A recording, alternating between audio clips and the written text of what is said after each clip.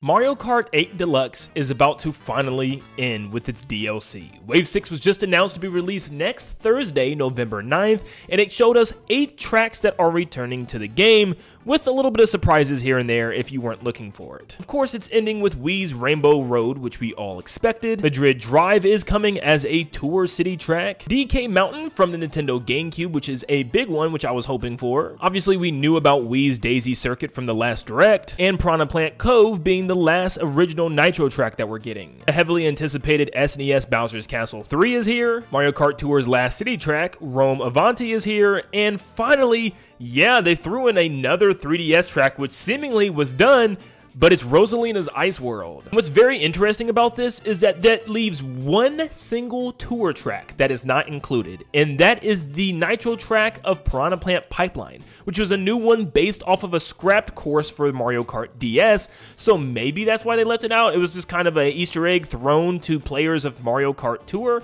and they didn't really want it in Mario Kart 8. I, I don't really know, or maybe there's just too many Piranha Plant tracks with Piranha Plant Pipeline and Piranha Plant Cove, but at the end of the day, we're going to be missing just one track from Mario Kart Tour, which is kind of crazy. And this is it. This is everything that we are going to get for Mario Kart 8, and it's all going to end in just one week, which means we are even closer to the next Mario Kart game, but at the same time, there's a lot of tracks that we all have to give our condolences to. Real quick, if you enjoyed Mario Kart 8 Deluxe's Booster Pass and really excited to play this last wave, leave a like down below and subscribe to let me know how excited you are for this, and let's see how many people we can get to sub from this one video. But let's dive into all the tracks that just didn't make the cut. Starting off at the very beginning with Super Mario Mario Kart on the SNES, they did a pretty good job overall. I feel like a lot of these tracks were basic in the beginning, so they would have to remake a lot of them completely from the ground up, so it's understandable why they didn't decide to bring a lot of these back. So you have Ghost Valley, which makes sense because you already have Boo Lake, and there's lots of clones of this throughout the Mario Kart series with like Broken Pier and stuff, so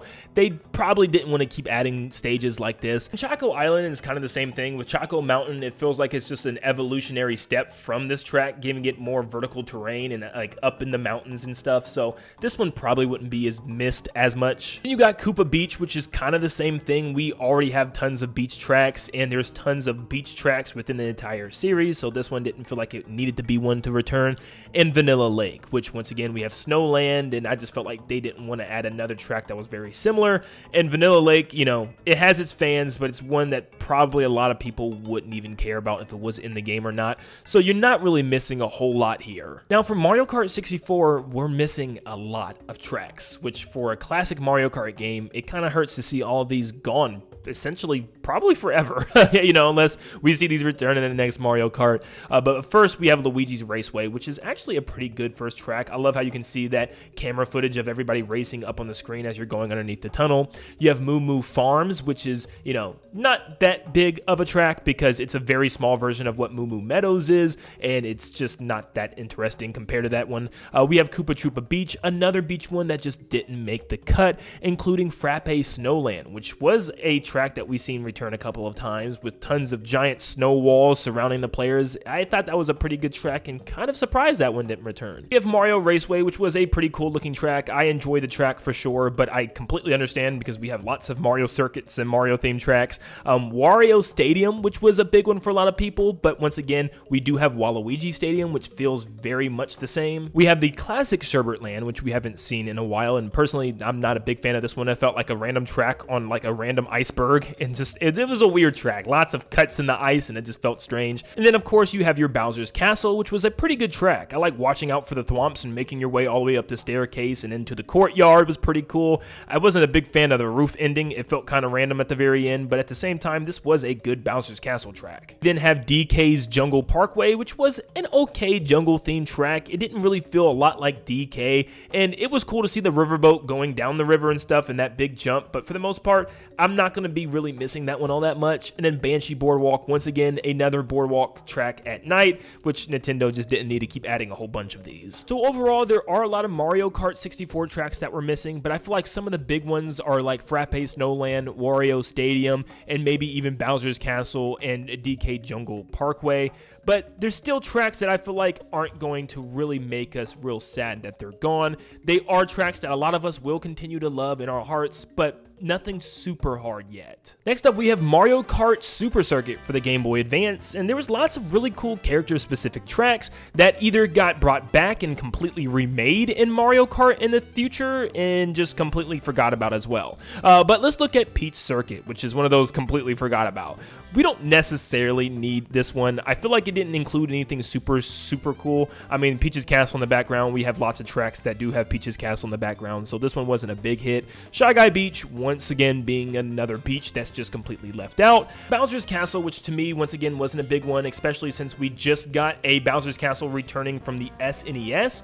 This isn't a big deal because they all kind of looked the same back then. They were just kind of like these weird, hard right turns, so Probably a little glad they didn't bring something like this back. Luigi Circuit was one that was just straight vibes for me. I really loved it. It was just a random weather station that Luigi had and also a giant blimp. But at the same time, I love how it was raining. You can see the water on the track. It was a really cool looking track back then and I felt like they could have remade it to make it look even better. Um, so I am a little sad that this one's not returning. I have nothing against beach tracks, but there are a lot of beach tracks in Mario Kart. This one was a little prettier though. I like seeing the giant Cheep Cheeps and the lighthouse in the background and the sunset. We really don't have any beaches at sunset, so I really enjoyed looking at this one. It was just a really pretty one to watch. And also, it had like a little boardwalk over the water, which was cool. Yoshi Desert was actually only remade for Tour, and it's kind of weird that we don't have many desert tracks within the DLC, or at least like the sand pyramid tomb type of desert tracks that we are lacking. You know, not like the modern deserts like Kalimari Desert. But I will say we did get Cheeseland in the base game, so I'm glad that we at least got that one remade, which was pretty cool. So I understand why Yoshi's Desert wasn't added. But Lakeside Park, we just got Riverside Park in the DLC. Lakeside Park is pretty much the same thing, but with an active volcano the entire time. And Broken Pier, once again, another boardwalk type track that we're just not going to get. It made sense. And then that leaves us with Rainbow Road from this game, which was just pretty much the SNES version, but with the Paper Mario 64 Bowser's floating castle in the sky. I don't know. I love it because I love Paper Mario, but, you know, at the same time, it's not a track that I was really begging to make a return. Once again, I feel like Nintendo covered some of the most important tracks from this game and didn't leave too much behind. Personally, I really wanted to see Luigi Circuit. I think Cheep Cheep Island would have been cool for kind of a sunset beach theme. Um, but besides that, yeah, there's really not a lot that I feel like Nintendo needed to include. Now we move on to Mario Kart Double Dash on the Nintendo GameCube, and this is where we start to feel some of the pain, at least me personally. So first off, we have Luigi Circuit, which is another one to start the game. Not a big deal. I like how, you know, there's two paths, two lanes that you can see people coming by in the other direction, which was pretty cool, and just like items smacking everybody. I like that one road intertwine, uh, but yeah, not a big deal. Peach Beach, another one I'm not really like a huge fan of. I know it kind of has that Mario Sunshine vibe, my favorite game of all time. Um, but at the same time, I don't really need to see the Cataquacks again. I don't need to see that specific beach. So I understand why that one didn't necessarily come back. Mushroom Bridge, however is a big one. I know a lot of people out there love Mushroom Bridge, myself included. I love the music, I love the vibes of this track, and this is probably the first one where I'm to be in the most heartache that it didn't return because this used to be my baby. I love this place, and I love driving up this side of the bridge and stuff, and the fact that it was in tour, I really felt like it had a chance but it just didn't make the cut. Now, we do have lots of city tracks, so maybe that's the reason, but it still hurts. Mario Circuit is whatever. We have tons of Mario Circuits, so it's not a big deal, uh, but Mushroom City is one that I personally wasn't a fan of. I know it has its fans out there. I felt like it was just a very big, confusing city. There was like that part where you could go in like multiple different areas and lanes and turn in different areas. It was more open. I like that, but we have lots of city tracks, lots. I mean, we just got Moonview Highway, we have New York Minute, and we have tons of other city tracks. So yeah, not a big one there. We have War Wario Coliseum, which I thought was a really cool one, which I really wanted to see return again. It was like a giant circus arena where you have those bikers go around those cages. I really, really loved it. And it was just like, had that feeling that was different than most tracks we've had. So that one's going to hurt a little bit. Dino Dino Jungle, another fan favorite that's just going to be completely gone that we actually have seen return in multiple games, but it's not going to return here. I really like this one, and going around giant dinosaurs was always cool to me. But it looks like it's going to be gone. It is a shame that we're only getting one Bowser's Castle track because there's some really good ones, and to me, the GameCube version is a really good one. One of my favorite ones, in fact. I like all the quick turns and stuff, and I really love the ending with the giant U-turn and the giant fireballs firing at you. I think it's a really cool change, and it's actually a pretty difficult track, too. You have to be pretty good at racing in this game. Of course, you have Rainbow Road, and just like, you know, the Bowser's Castles, there's so many Rainbow Roads out there. This one was really good, though. I really did enjoy the, like, the loops and also the pipes that you're shooting through, and the city skyline down below. But at the same time, I do feel like we got our fan favorites with Mario Kart 7s and obviously Mario Kart Wii's coming, so they definitely did hit those for us. So this is where I feel like we start to get some of our heartaches, because Mario Kart Double Dash had so many good tracks, especially when we look back at things like Mushroom Bridge, which was a big one, Wario Coliseum, Dino Dino Jungle. So yeah, those hurt a little bit, and I know there's some dedicated fans of all those tracks, and it's to hurt them a lot to not see them return in Mario Kart 8 Deluxe.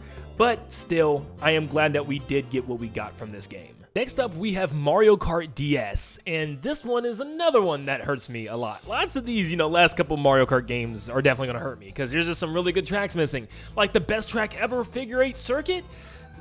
I'm, I'm kidding. It, this track sucks. I'm, I'm, not even going on it. It's just an 8. But we have Yoshi Falls, which I know a lot of people like this one. Personally, I don't. It's just one big loop that you keep going around and you can race technically on the waterfall. But to me, I never was a big fan of this track, even when it was back in Mario Kart Wii. Luigi's Mansion is the craziest thing ever. How in the world is Luigi's Mansion not in Mario Kart 8 Deluxe? It's like Luigi's identity. It's like one of the biggest franchises growing for Mario. Like, why? How in the world did that one not make the cut? That one makes me really mad, actually. But we have Desert Hills, which you know, we don't really need, it looks like dry, dry desert that we already have, so it's not a big deal. But then we obviously have Delfino Square, which is a big one for me because as a huge Mario Sunshine fan, this one kind of sucks. I get it though, we have tons of city tracks and it just looks like another city track that we've already gotten from Tour, but it's just that nostalgia factor. I'm really gonna miss this one. I know DK Pass has a lot of fans out there. Personally, I'm not a huge fan of it. It feels like a Shroom Ridge, but just covered in snow. Um, but at the same time, I understand why people love this one. The falling snowballs and stuff the vibes. It's really cool. And going up the side of that snow mountain is awesome, and people are going to be kind of upset that this one's not going to return. Uh, but Airship Fortress, one of the best Mario Kart tracks of all time, and it's not going to be in Mario Kart 8 Deluxe. This one ugh, is going to hurt. I'm sorry. But yeah, we knew it was going to happen. We knew based on the data mine that we were done. Uh, but yeah, it, this, this, come on, Nintendo. But then we have Bowser's Castle and Rainbow Road, which I'm not gonna lie to you, I can barely remember any of these. They're not that memorable. Bowser's Castle is kind of cool because you got like that giant turning wheel that you get to drive on and stuff and drive outside of the castle itself, which is always fun. Uh, but then Rainbow Road, yeah, I, I, can't even remember a lot about this Rainbow Road. So I don't know. It's gonna have its fans for sure, but yeah. So overall, for Mario Kart DS, I think the big ones, some people will really miss Yoshi Falls. Luigi's Mansion is just huge. Delfino Square definitely has its fans. DK Pass, Airship Fortress is going to be so painful. And of course, the beloved Figure 8 Circuit. I mean, come on, it's amazing. Next up, we have Mario Kart Wii, and there's a lot of Wii tracks that actually made the cut. So that's actually a good sign. There's only like a handful that didn't, and there are some fan favorites, of course, but let's get into it. Luigi Circuit, once again, I'm never really realizing that there's a lot of Luigi circuits to actually start some of these Mario Kart games, but not a big deal. You know, we have tons of circuits already. Toad's Factory is going to make almost the entire world upset. I don't know a single person that doesn't like Toad's Factory. The vibes is awesome. It's a factory. It's Toad's Factory. I mean, come on, that's such a unique location, and the music is great, and just people really love this stage. And it's gonna suck that we're not gonna be able to see this return. In fact, Toad's Factory really hasn't been getting much love at all in any future Mario games. So yeah, it's kind of sad that this track is just gonna be left and forgotten on Mario Kart Wii, which is just a shame. We have Mario Circuit, which once again, we have enough Mario Circuits and Mario themed tracks. This wasn't a big deal. It didn't do anything super special. But Dry Dry Ruins, which actually returned in Mario Kart Tour as well, that we're not going to see, which actually was one of the better desert tracks. Going into the little tomb and the actual ruins itself was really cool, instead of just going throughout a sandy desert. So this one kind of, eh, I, you know, it, I could live with or without it. And Bowser's Castle is very similar to the Mario Kart 8 version. You start off by going into the castle. There's lots of hallways. You even have the wiggling hallways that are very much like the mansion track from Mario Kart 8. And you also have like the fire bars and the giant hallway with the fireball shooting at you. Yeah, it's very similar. We don't necessarily need this one. But yeah, really, there's only one track I think from Mario Kart Wii that's really going to hurt a lot of people, and that's Toad's Factory. That one is definitely going to bite. And then finally, we have Mario Kart 7, and there is a decent amount of tracks that just didn't make the cut. Starting off with Daisy Hills. Daisy Hills looks a lot like Amsterdam Drift with the windmills, the shacks, and even the flowers, so I can definitely see why it wasn't included. I do like the little boardwalk area going up on the side of the mountain. That's pretty cool, and then, you know, obviously gliding into the hot air balloons, but yeah, it's just way too similar. Cheep Cheep Lagoon is another beach one, but I think it's one of my favorite beach ones. It's a lot of time underwater, and you go into the little cave, and you can go into the side of the cavern on the little strip of land and then glide off of it. So this track was kind of cool. You know, it didn't really do anything anything super special, but yeah, it's going to be missed. Shy Guy Bazaar was an interesting desert town at night, which was a unique one because most of our deserts don't really include anything this cool, like a little town to go through, a little bazaar. Um, for the most part, it's just like I said, sand hills and desert. Um, but this would have been a cool one to see return for sure. The ones that pain me is Wuhu Loop and Maka Wuhu, which is also Island Loop and Mountain Loop.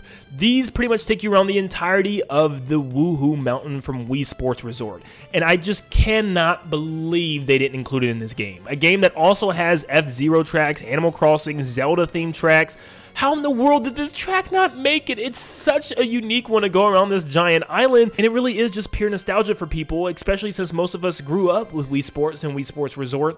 This one just, it, it, it kind of hurts that not even a single one of these were included. We have another Mario Circuit, which is just Mario Circuit, you know. We get to go inside Peach's Castle this time for a little bit, so that's a little unique, but for the most part, it's just stuff that we've seen time and time again. It reminds me a lot of Royal Raceway, you know, once again, just going back to the cherry blossom trees and stuff, but for the most part, it's an okay track that we don't necessarily need again. But we have Wario Shipyard, definitely has some fans, this giant underwater shipyard, which is weird, you know, but you know, at the same time, I don't necessarily think about it all too much or miss it that much, so I can see, you know, the game having it or not having it. I definitely do love drifting around the top of the ship, coming out of the water, and then diving back in. I thought that was really cool. Um, but then we have Bowser's Castle. This Bowser's Castle was kind of unique because you spent a lot of the time outside the castle, like on the outsides of it, and also it incorporated both gliding and underwater sections, which was really cool, and it had some pretty cool shortcuts as well. It's definitely not one of the worst, and it's definitely one that I would have loved to see return, but at the end of the day, it's not a huge deal. But the big ones we're missing here are Shy Guy Bazaar, definitely the Wuhu Island tracks,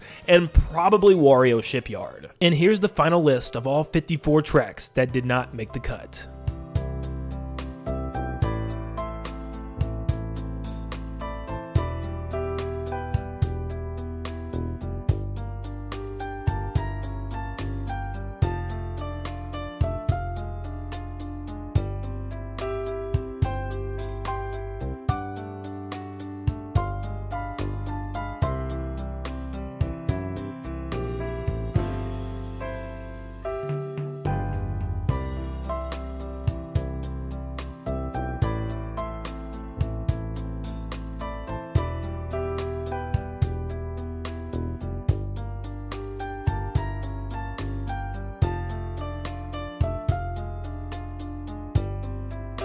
I didn't forget about you, number 55, Piranha Plant Pipeline. Yes, we will miss these 55 tracks, and it will always haunt us that one of our favorite tracks just still could not make the cut. But at the end of the day, Nintendo, we thank you for giving us 48 tracks returning to Mario Kart 8 Deluxe in 2023. I know a lot of us wanted a new Mario Kart, but it's been amazing to be able to revisit some of the tracks that I've played as a little boy. And seeing them again in HD was something that I never thought I'd be able to say. And playing Mario Kart 8 Deluxe this long is kind of crazy. So I know this video may came off to a lot of people as negative or complaining that these tracks didn't get in the game, but I am so unbelievably thankful for what we have. And in fact, I have a video coming up talking about Mario Kart 8 Deluxe in general, talking about how much of an amazing game that this game has been for us for the last decade and how much it meant to me. Thank you guys so much for tuning in, and I'll see you in the next one. See you guys.